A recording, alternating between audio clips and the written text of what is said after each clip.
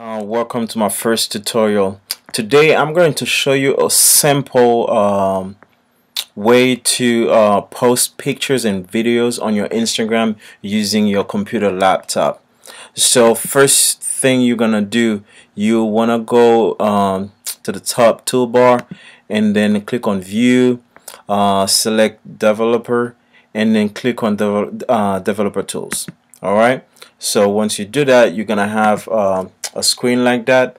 So the sidebar is where you're gonna play with to um, have the ability to post the pictures and videos. So you want to go over to toggle device toolbar. You click on that and then it's gonna transform your uh, web page into a mobile app format.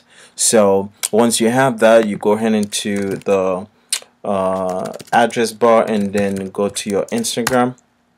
Boom there you go. So uh, if you look at it it's like using your phone.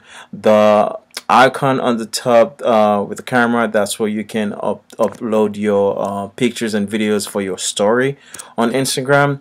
And then that plus button is for you to add uh, pictures. So you go ahead and then select the picture you want to add and you go next and then you can enter your captions and uh, hashtags and you share I hope this video was useful for you.